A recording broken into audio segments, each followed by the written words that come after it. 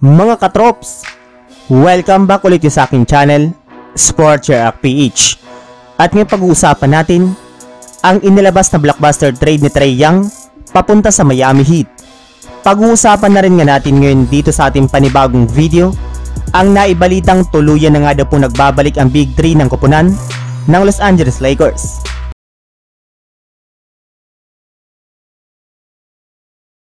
Gaya nga po ng sinabi ko sa inyo mga katrops, kahit anuman nga pong gawin ng Miami Heat ay nahihirapan para naman nga po silang makakuha ng sunod-sunod na panalo ngayong season.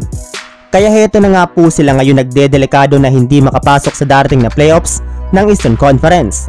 Isang average na team para naman nga po ang Miami Heat dahil sa napaka-inconsistent na laro ng kanilang mga players.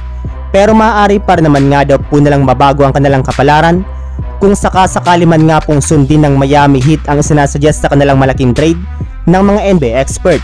At ito nga po ang pagkuha nila kay Trey Young mula sa Atlanta Hawks gamit ang kanilang mga players na sina Tyler Hero at Kyle Lowry. Bali alam naman nga po ninyo na nagkakaroon nga po ng problema ang Atlanta Hawks sa ugali ni Trey Young at may posibilidad nga po na i-trade nila ito sa mga susunod na buwan. Kaya dito na nga po papasok ang ideya na pag-offer nila ng trade sa Atlanta Hawks para makuha si Trey Young. Sa kabila nga po ng height nito ay nagtatala pa naman nga po si Young ng napakalalaking puntos at gumagawa ng magagandang play sa loob ng court na babagay kasama ni Jimmy Butler at Bam Adebayo. Samantala, pumunta naman tayo sa ating sunod na pag-uusapan sa balitang tuluyan na nga po nagbabalik ang tunay na Big 3 ng Los Angeles Lakers. Sa mga hindi nga po dyan nakakaalam mga katrops, meron nga po ngayong kasalukuyang record ang Lakers ng 19 wins sa 22 losses kung saan nakaupo pa rin nga po sila sa ikadosing pwesto kahit man limang beses silang nanalo sa kanilang huling anim na laro. Ibig sabihin, nagdedelikado pa rin nga pong hindi sila makapasok sa playoffs kaya napakahalaga pa rin nga po para sa kanilang team ang lahat ng kanilang mga laro. Pero hindi rin naman nga po dito nag-aalala ang kanilang kupunan lalo pat hindi na rin naman nga po magtatagal at makukumpleto na ang kanilang buong puwersa.